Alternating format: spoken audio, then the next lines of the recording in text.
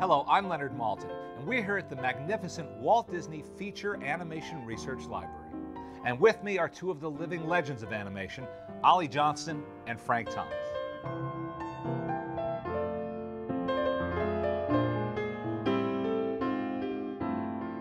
Can I ask you each, how do you feel about Mickey Mouse? Oh, I have a great affection for him because he meant a lot in my life. Without Mickey, if it had been one of these other characters, Felix or something like that, I don't think it would ever reach the peak that he reached. And uh, has a charm that uh, Walt put into him. And it, I feel that there's so, this close relationship between Walt and Mickey that's been very important in my life. And you, Frank? Yeah, I always uh, loved the little guy because of the scenes that I got to do with him and the, the fun I had creating him. And there's a, a, feeling you get when you make the drawings and then you send them out the camera and you see the film and suddenly this guy up here is alive. He's as alive as you are and he's doing the things that he's thinking of it himself.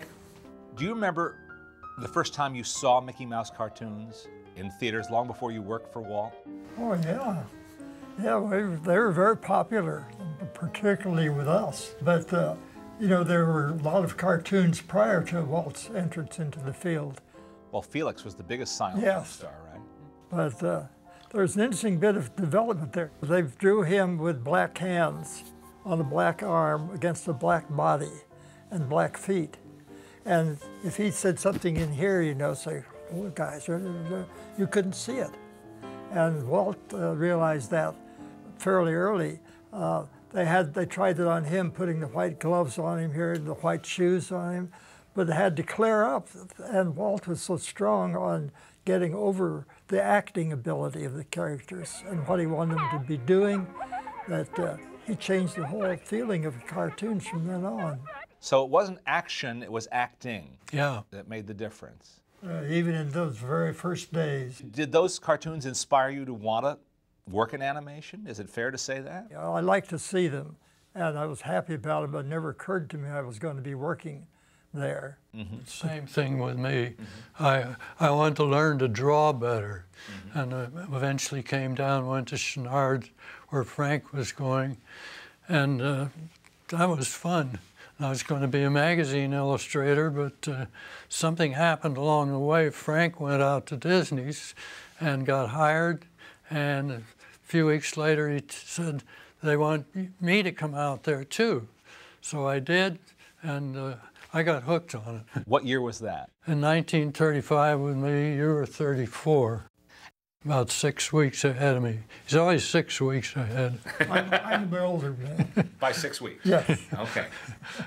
well, let's, let's look at some of these drawings and tell me what, what strikes you about it. Now, here, here's the first time Mickey was ever drawn, I guess. This is, this is Plane Crazy. Yeah. Back in 1928. Now, I, I don't know if we're looking at Ub Iwerks' actual drawings here, but chances are we are. They are. He did every drawing. Mm-hmm. Yeah. I love the stuff he did up in the airplane where uh, he wanted to kiss Minnie. And I thought, gee, this is wonderful acting. Uh, uh Walt must have talked this to them. and she, no, no, she didn't want to do it. so he finally grabs her and kisses her, and she jumps out of the airplane. Oh, yes, yes, and her, pa- her panties Yeah, her and her, her parachute. But that was a wonderful little section to me. Mm-hmm. I thought it was way, way advanced over anything else in the picture. Ub laid the groundwork for so much of animation that other people built on. Is there something about his drawing that's distinctive? I mean, when you look at it, do you see something that stands out to you? Well, I think they're all very clearly staged and very simple action. They're very simple and easy to read. And they get the point across. They get the point across, mm-hmm. absolutely. This is sort of strange drawing on the arms, and the legs are just strings but he was moving fast, shooting back and Yeah. forth. Is that what they call rubber hose animation sometimes? That kind of, I would. those limbs? Yeah.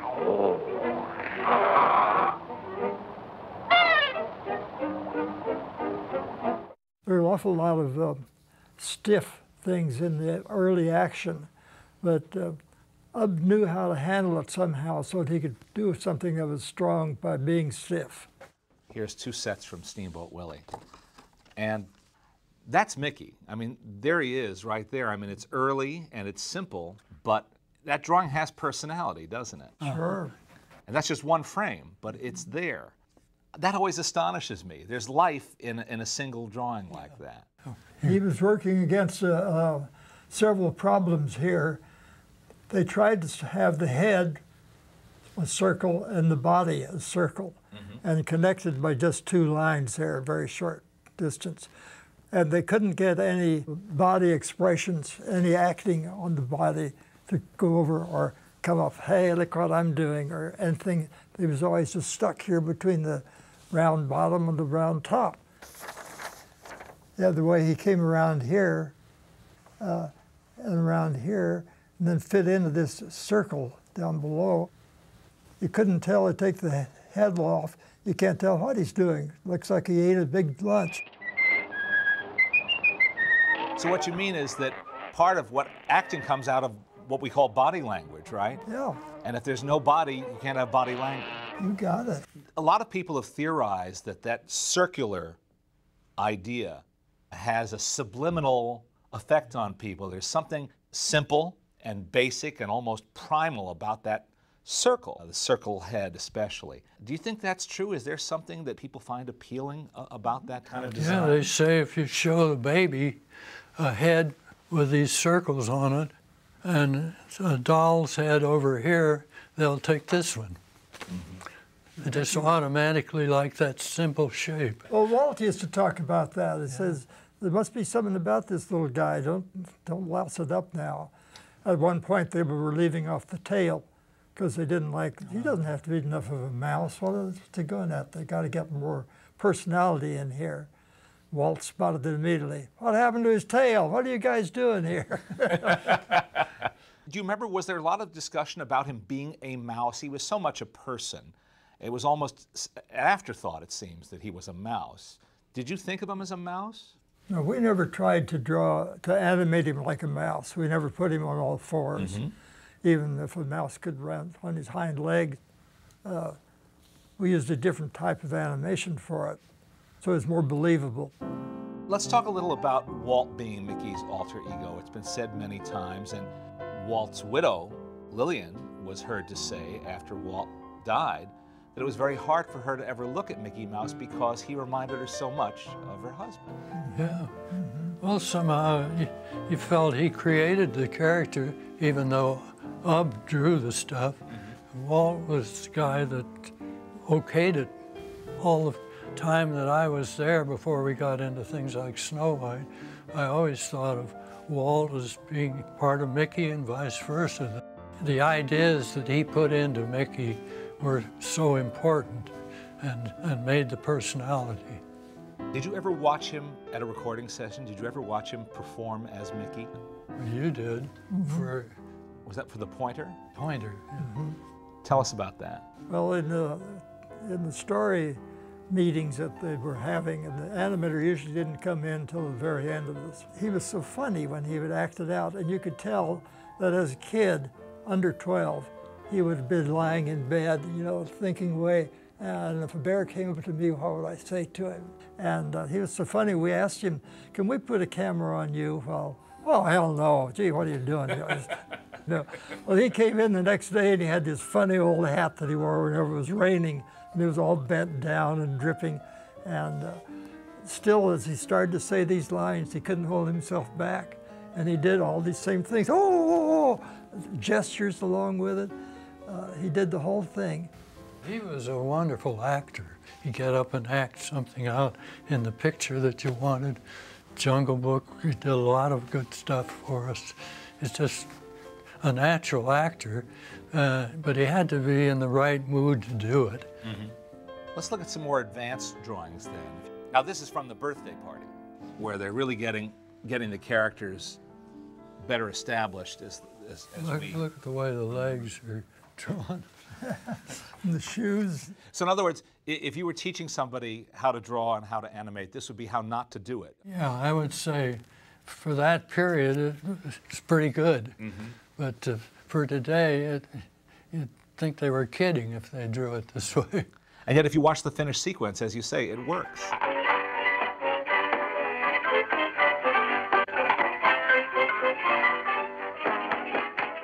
So you, you look at a drawing, can you tell? Is it like a fingerprint? Can you tell whose mark is on that drawing?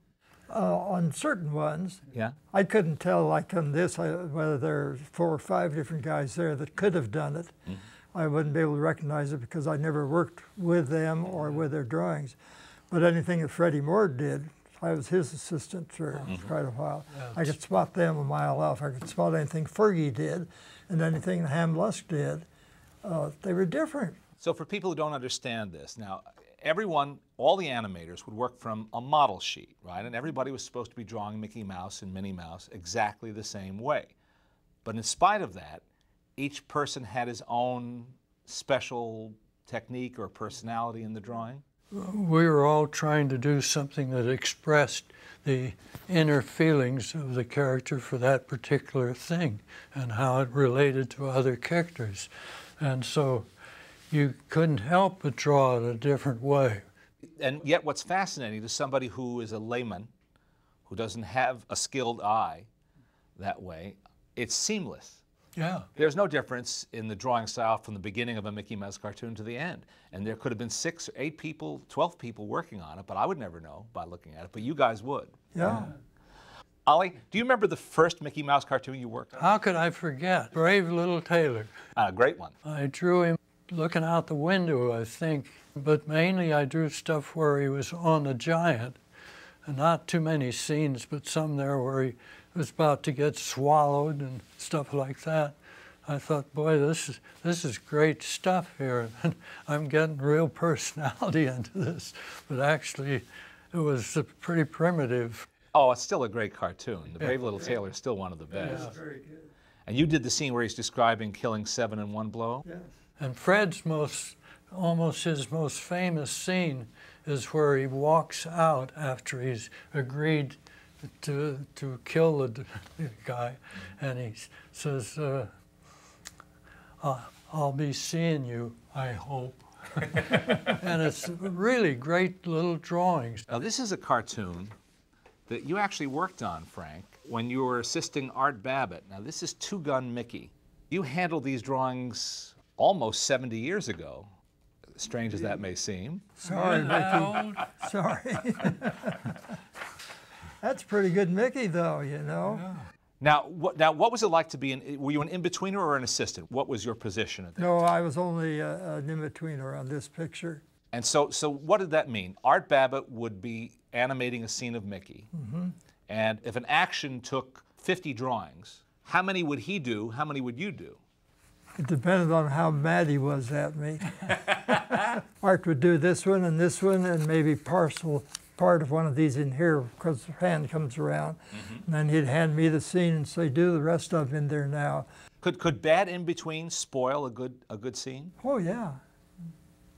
Make it jerky. Mm-hmm. I only had one scene, fortunately, in all my years there that I had to reanimate because the cleanup man misinterpreted everything and drew it in a different style and thinking a different way. He always thought a different way than I did. And he just ruined it. There's nothing I could save out of it. Wow. That happened to me too, but for a different reason. Somebody took my scene home to uh, put all in betweens in everything, and put it on the top of her car as she was going to load her stuff in their car to go home. And uh, guess what? Fell down, and sprinkled all over the street. Now, collectors tend to collect animation art and like the cels, but for you guys, it's the drawings that really matter most, isn't it? Yeah, I prefer a title a drawing to a cel because you lose a little, it's a tracing. When you see these pencil drawings, when you look at these now, uh, is there kind of a unique connection with the artist that, that maybe doesn't exist in the finished product? Well, you think you think uh, of the women, all the work they had to do with the ink and the paint, and I think, gee, how can they trace that so accurately on there? And I respected the work that they did, and the layout man who created the background for a thing, and how you staged the character so that that was important. And uh, the animator didn't necessarily follow that this layout man would just scream, "You didn't follow my drawing!" but other than that, you, uh, I don't know. We like the drawings because that's what we like to do, and I get that all the time from people today on the, the computers, and uh, they say, "Well, they can do awful good work on the computers, and it's a lot easier, but it takes a little longer, and it's a little more expensive, and it's crueler." But I like to just sit down there with the character, and know what he's doing, and draw him. There's something you feel about the, your pencil in your hand. And boy, you can just forget the rest of the world. You're down there in this little dream world drawing away on the thing. Okay, final, final question. One word to describe Mickey Mouse. What's the first word that comes to mind to describe Mickey Mouse? I think I'd say appealing. There was something about him that just drew people in. From the little, as you said, those little tots uh, couldn't even talk yet, and yet they'd say, "Yeah, I'm big," and reach for him. He has to have appeal, and even when he was acting seriously, and, and uh, he had a very definite personality. A lot of people have said, well, he can do anything. You know, he can be a cowboy, he can be a dancer, he can be a musician, he can be a mountain climber, he can be anything. Would you choose the same word or a different word? Uh, Well, I'd certainly say it was appealing, but also inspiring. It was inspiring to me the fact that uh, he did so much for the medium. What he did, uh, gee, I, I love saying I'm working for Mickey Mouse, and uh, that meant for Walt and Mickey Mouse. And to me, he was an inspiration and something I loved. And uh, every time I'd make a drawing for somebody, why, uh, a Mickey, I felt, wow, geez, I've done them a big favor. That's true. It's true. Thanks so much.